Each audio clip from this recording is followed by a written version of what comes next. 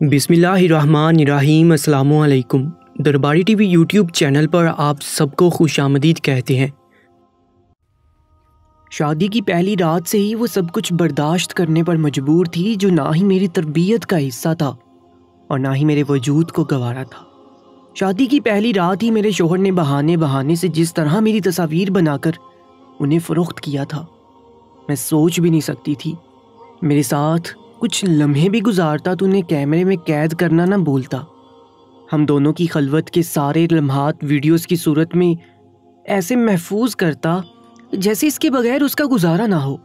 लेकिन शुरू के दिनों में मैं इस बात से पूरी तरह अनजान थी कि इसके पीछे मेरे शोहर का क्या मकसद पोशीदा है। कुछ अरसे तक वो मोहब्बत के नाम पर ये खेल रचाता रहा।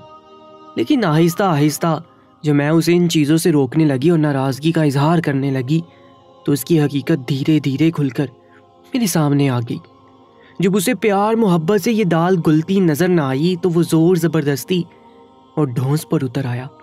और उस वक्त मुझ पर यह अकदा खुला कि दरअसल इस शादी के पीछे क्या राज है।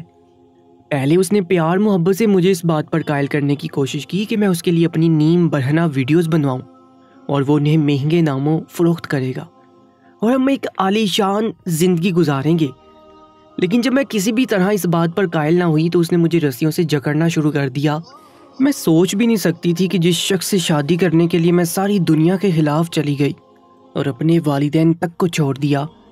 वो शख्स शादी के नाम पर मेरे साथ ऐसा गिनौना खेल खेलेगा और मुझे अपने मकसद के लिए इस्तेमाल करेगा। मेरी शादी को दो महीने होने वाले थे और इन दो महीनों में हर रात मैंने ऐसे ही बेआबरू होकर गुजारी थी। मेरा शोहर मुझे रस्सियों से जकड़ कर मेरे साथ ऐसा सलूक करता जो शायद कोई दरिंदा भी किसी इंसान के साथ ना कर सकता हो। उस वक्त भी मेरी हालत बहुत ज़्यादा ख़राब थी। मैं रस्सी से बंदी कुर्सी पर बैठी हुई थी। मेरी हालत इंतहाई नजेबा थी। जगह जगह से मेरा लिबास चाक था और मेरा वजूद झलक रहा था। मेरे शोहर ने मुझ पर पानी की बाल्टी डालने के बाद आगे बढ़कर मेरे बाल भी खोल दिए थे और ख़ुद ही मेरे होंठों पर गहरी सुर्खी लगा दी थी। उस वक्त वो मुझे कोई जहनी मरीज़ मालूम हो रहा था। जिसकी आगे मैं तकरीबन बेलिबास बैठी थी और वो मुझ पर अपना ज़ोर आजमा रहा था। मैंने अपने शोहर को बहुत वास्ते दिए, लेकिन उसने मेरी एक ना सुनी। मेरे रोने धोने का भी मेरे शोहर पर कोई असर ना हो रहा था। वो बेहिसी की इंतहा पर था और मुझे अपनी अयाशी का सामान बनाना चाहता था। मैं ज़ारों की तार रोते हुए उससे इल्तजा कर रही थी कि वो मेरे साथ ऐसा ना करे।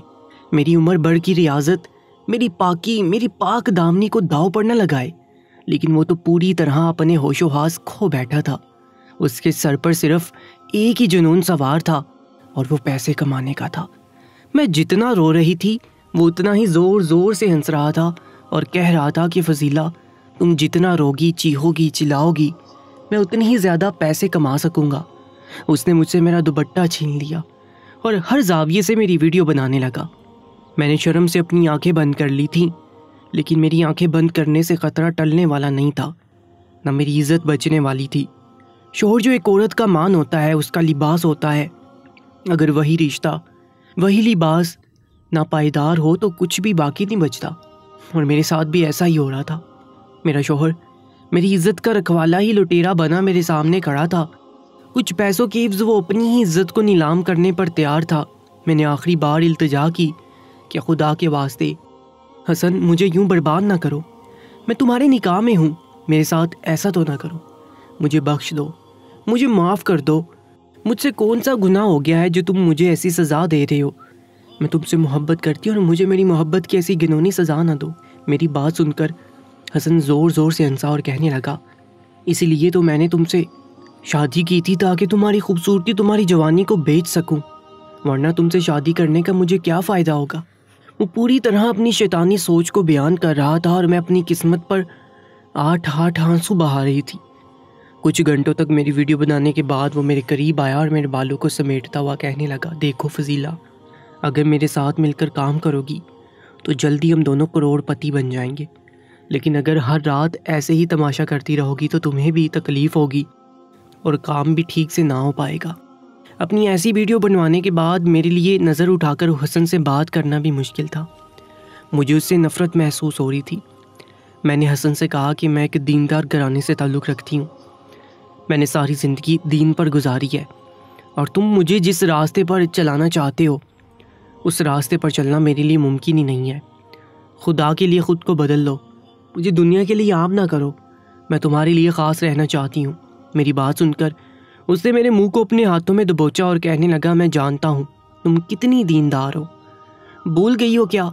अपनी पसंद से तुमने मुझसे शादी की है। तुम्हारे घर वाले तो इस शादी के ख़िलाफ़ थे, लेकिन तुमने ही मुझसे मोहब्बत में आकर ये कदम उठाया है।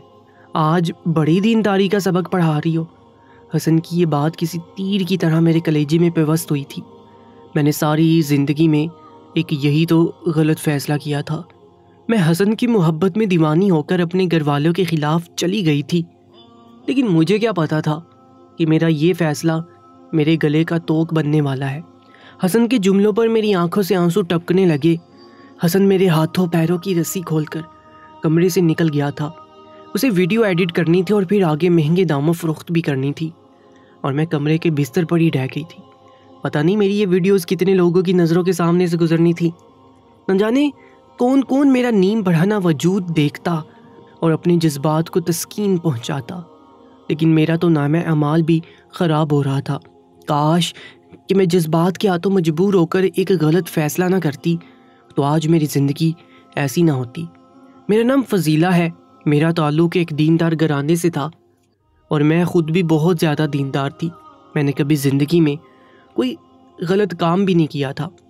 मैं तो हमेशा खुदा से हिदायत की दुआ मांगा करती थी, लेकिन भी मेरी ज़िंदगी में हसन चला आया, जिसने आकर सब कुछ बदल दिया। मैं अठारह साल की थी और मदरसे में अरबी पढ़ाने के लिए जाया करती थी। एक दिन शदीद बारिश हो रही थी और मैं अरबी पढ़ाने के लिए निकल चुकी थी कि रास्ते में मेरी नज़र एक लड़के पर पड़ी।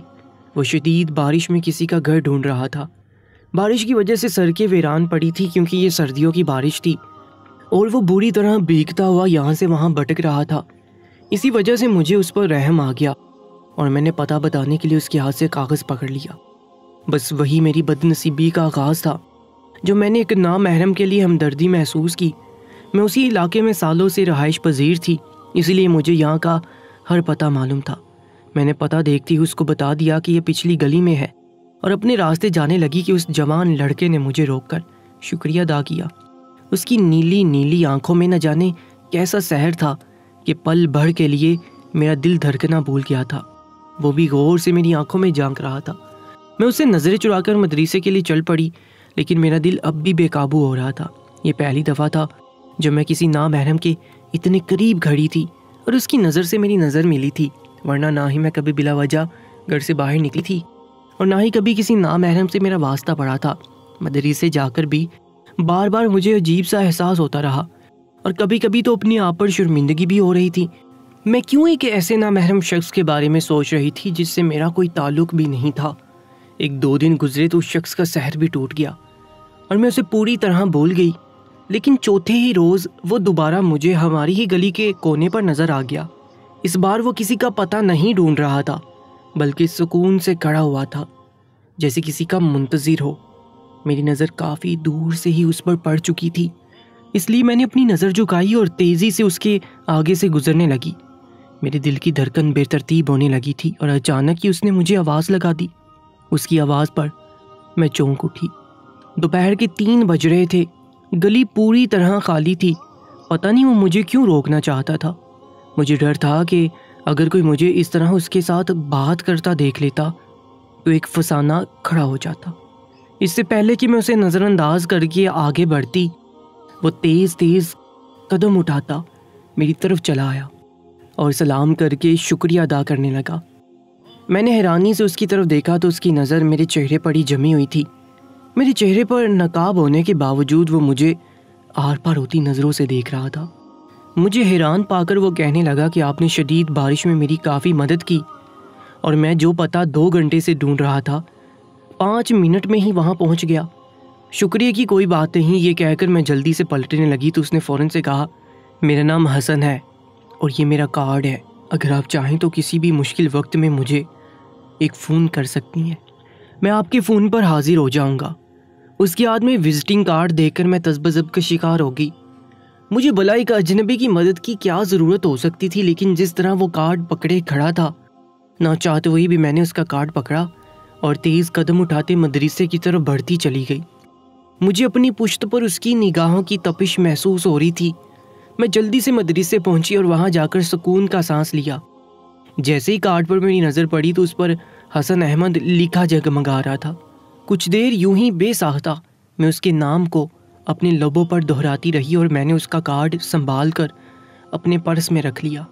काश कि मुझे पता होता कि ये नाम मेरी किस्मत को कैसा ग्रहण लगाने वाला है। तो मैं कभी उसको संभाल कर ना रखती। मेरी नज़र में तो वो एक नेक और शरीफ लड़का था, जो मेरा शुक्रगुजार था, और इसीलिए शुक्रिया अदा करने के लिए आज वो मेरे पास आया था। लेकिन मुझे इलम नहीं था कि अभी ये सिलसिला ऐसे ही चलेगा, और फिर आने वाले हर रोज़ वो मुझे मेरे रास्ते में दिखाई देने लगा। ना वो मुझे आवाज़ लगाता, ना रोकता, बस उसकी निगाहें मेरे वजूद पर जमी होती। और मैं उसकी निगाहों की ताब ना ला पाती। मैं एक पत्थर थी और वो पानी का कतरा जो आहिस्ता आहिस्ता मेरे वजूद में अपनी जगह बना रहा था। उसका यूँ दीवानों की तरह धूप में मेरे रास्ते में खड़ा होना और मुझे देखकर मुस्कुरा देना मेरे दिल में कहीं ना कहीं उसके लिए एक नरम गोशा पैदा कर गया था। और भी एक ऐसा हादसा हुआ कि मुझे उससे रबता करना पड़ गया। मैं अपने बाप के साथ किसी काम से शहर की दूसरी तरफ़ आई थी, लेकिन हमारी मोटरसाइकिल का बुरी तरह हादसा हो गया। अब्बा गिरकर बेहोश हो गए। उनका फ़ोन भी टूट गया। मुझे समझ न आया कि मैं किसको मदद के लिए बुलाऊं। पास एक दुकान थी, दुकानदार भागता हुआ आया। लेकिन उसके पानी डालने पर भी अब्बा को होश ना आया।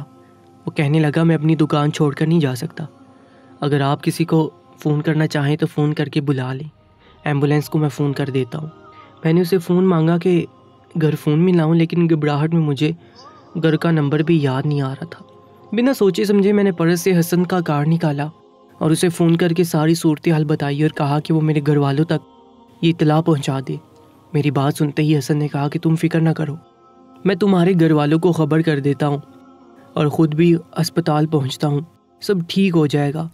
कुछ ही देर में मैं एंबुलेंस में बैठी अस्पताल पहुँच चुकी थी और हसन भी वहाँ आ गया था।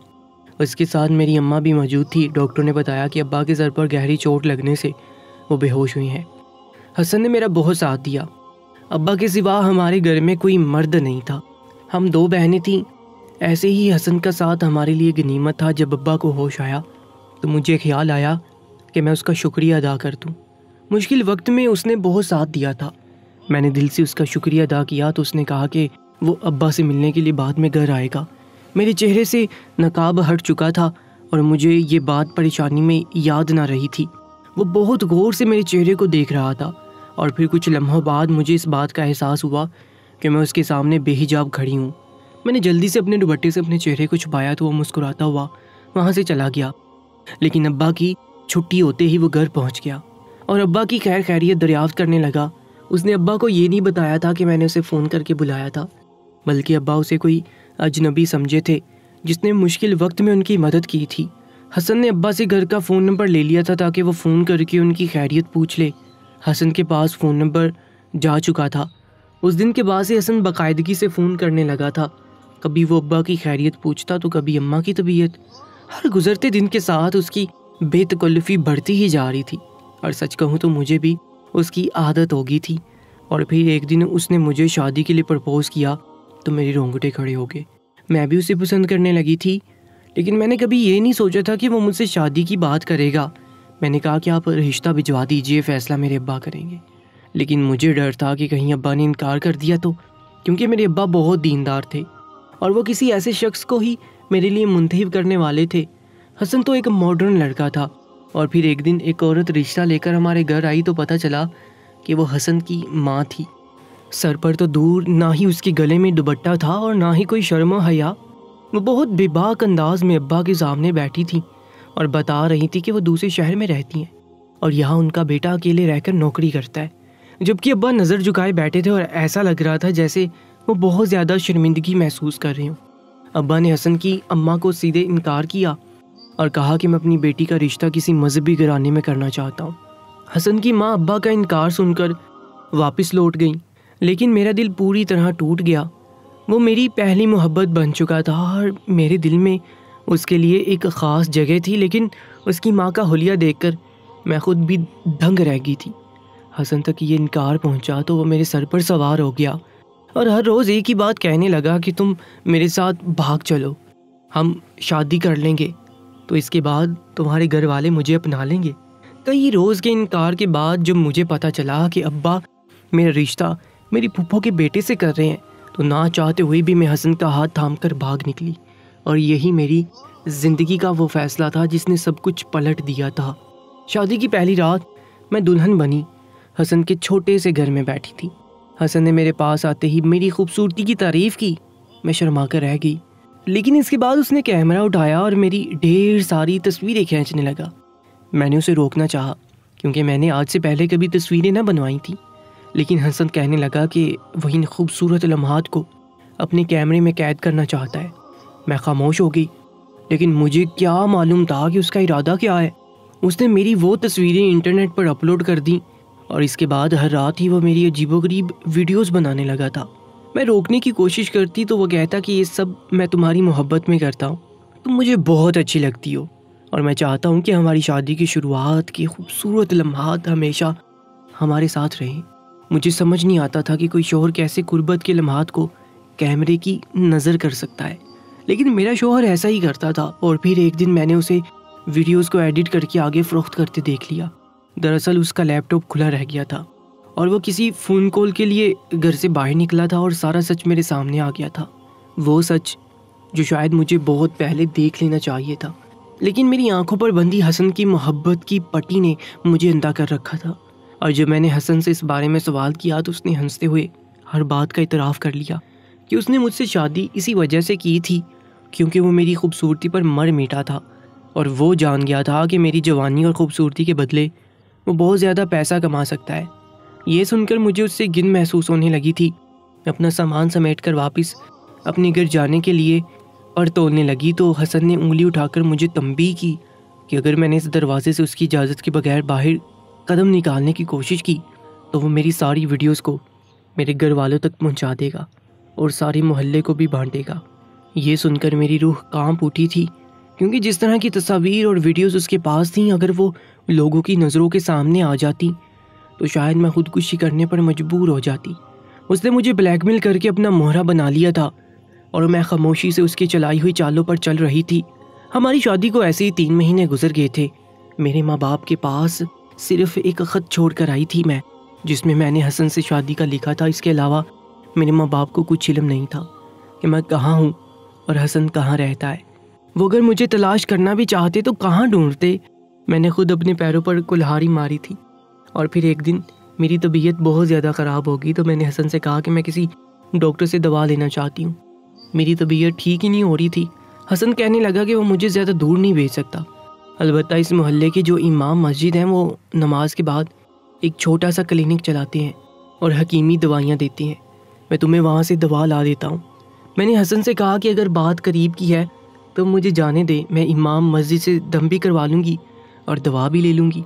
शायद मुझे जल्दी आराम आ जाए। वो भी अपनी वीडियोस बनाने के लिए मुझे जल्द से जल्द ठीक करवाना चाहता था, इसलिए मान गया। मैं इमाम मस्जिद के मतम में जाकर बैठ गई वो पर्दे में से ही मुझसे मेरा मर्ज़ पूछ रहे थे, लेकिन उनकी शफी का आवाज़ सुनकर मैं ज़ारों की तार रोने लगी और फिर मैंने उन्हें अपने और अपने शोहर के ताल्लुकात के बारे में भी बता दिया। जिसे सुनकर वो ख़ुद भी रंजीदा हुए और कहने लगे, बेटी, तुम फ़िक्र ना करो। मैं तुम्हें एक तवीज़ लिख कर देता हूँ। ये अपने शोहर को खिला देना। देखना वो बिल्कुल बदल जाएगा और तुम्हारी ज़िंदगी आसान हो जाएगी। ये सुनकर मेरी खुशी की इंतहा ना रही। मैंने अपनी दवा के साथ साथ तवीज़ लिया और इमाम मस्जिद से दुआएँ लेकर घर आ गई। मैंने दोपहर का खाना बनाया तो खाना बनाकर उसमें तवीज़ भी शामिल कर दिया।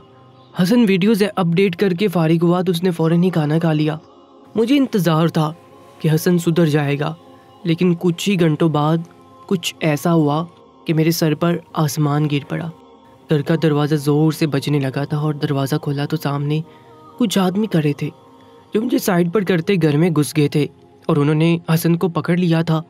उनका ताल्लुक साइबर क्राइम पुलिस से था और हसन के खिलाफ किसी लड़की ने साइबर क्राइम की कोई रिपोर्ट दर्ज करवाई थी और इसी वजह से वो हसन को गिरफ़्तार करने आए थे। हसन का लैपटॉप और वो सारी वीडियोस वो कब्ज़े में ले चुके थे जो हसन ने मेरी बनाई थी और उन्हें आगे बेचने वाला था। पुलिस वालों ने जब उससे मेरे बारे में पूछा तो उसने उनके सामने इतराफ़ कर लिया कि उसने मुझसे धोखे से शादी की है और ज़बरदस्ती मेरी वीडियोस बनाकर फ़रोख्त करता है। ये सुनते ही पुलिस वालों ने उस पर एक और मुकदमा दर्ज किया और उसे घसीटते हुए ले जाने लगे और मुझे इस बात की यकीन दहानी करवाई कि ना ही मेरी कोई तस्वीर और वीडियोस किसी के हाथों में जाएँगी। और जो जा चुकी हैं, वो भी डिलीट करवा दी जाएँगी। इसलिए मैं बेफिक्र हो जाऊँ। ये सुनकर मेरी आँखों में आँसू आ गए थे।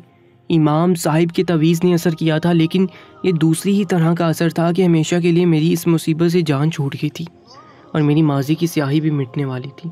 मैं तीन महीने की बर्बादी झेल कर वापस घर लौटी तो मेरे अब्बा ने मुझे सीने से लगा लिया और मैंने रोते हुए अब्बा को जब सब कुछ बताया तो उन्होंने मुझे माफ़ कर दिया और कहने लगे, गलती तुम्हारी नहीं है, हम इंसान हैं और कभी कभी शैतान हमें इस तरह बहकाता है कि हम सीधा रास्ता भूल जाते हैं। आज मैं अपने माँ बाप के साथ एक बेहतर ज़िंदगी गुजार रही हूँ, लेकिन मेरी सब लड़कियों से गुजारिश है कि गैर मर्दों पर भरोसा ना करें। अगर किसी से मोहब्बत हो जाए तो अपने घर वालों को अतमाद में लें और फिर उनके फैसले का इंतज़ार करें, क्योंकि माँ बाप कभी औलाद के दुश्मन नहीं होते। आप लोग बताएँ कि हसन जैसे लोगों की क्या सज़ा होनी चाहिए, जो दूसरों की भूल जैसी बेटियों को नोच डालते हैं। इस वीडियो के नीचे कमेंट सेक्शन में अपनी कीमती राय से हमें ज़रूर आगा कीजिएगा। और ऐसी ही सच्ची और सबक आमोज वीडियोज़ के लिए हमारे यूट्यूब चैनल को सब्सक्राइब कर लीजिएगा। इन मुलाकात होगी एक नई वीडियो में। तब तक के लिए अल्लाह ने के बाद